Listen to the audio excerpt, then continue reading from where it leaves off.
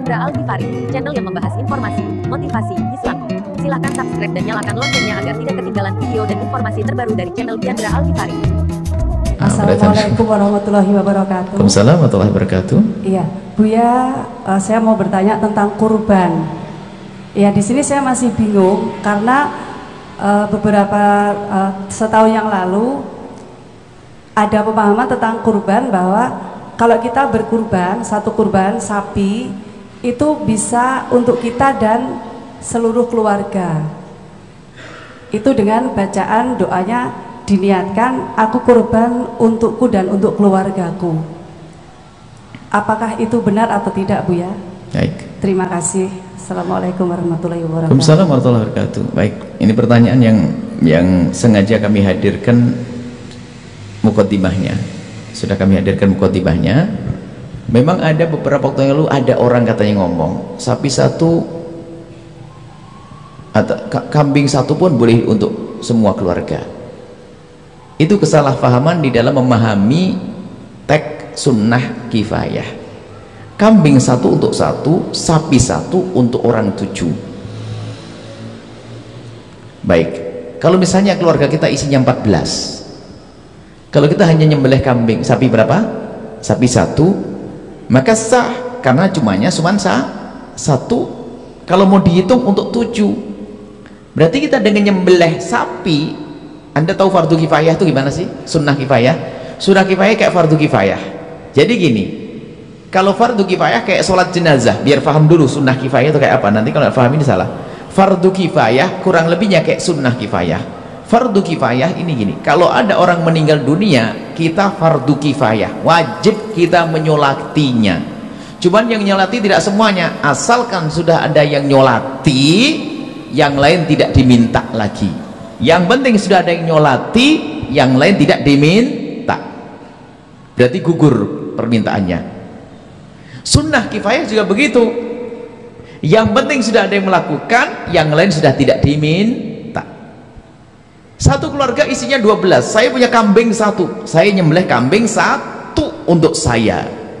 Karena satu keluarga itu sudah ada nyembelih satu yang lain tidak diminta. Tapi kalau melakukan tetap sunnah. Sama.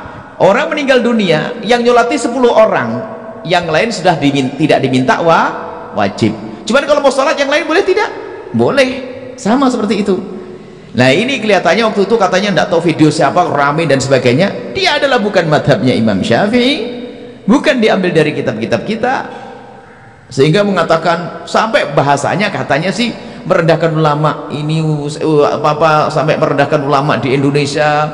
Karena agamanya agama ngikut-ikutan salah semuanya sudah nyalakan semua orang. Katanya begitu itu korban itu satu kambing boleh satu keluarga. Ini salah tidak begitu. Satu kambing untuk satu orang tapi jatuh tuntutan untuk keluarga.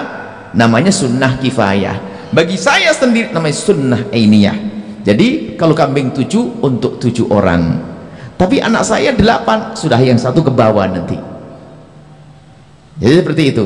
Jadi tidak benar kalau satu sapi untuk seluruh keluarga keluarganya dua belas. Juga benar satu sapi untuk tujuh orang. Tapi bagaimana yang lainnya? Masuk dalam sunnah kifayah. Yang penting satu keluarga itu jangan sampai tidak nyembelih korban. Biarpun hanya satu kambing atau satu sapi atau satu onta. Itu namanya sunnah kifayah. Tapi kalau hitungannya satu satu. Jadi begini kalau anda punya anak lima dan dengan dua tujuh dengan anda ya sudah. Sebisa mungkin setiap tahun nyembelih berapa? Tujuh. Sunnah satu satu satu tapi saya tidak punya tujuh tahun ini. Kenapa?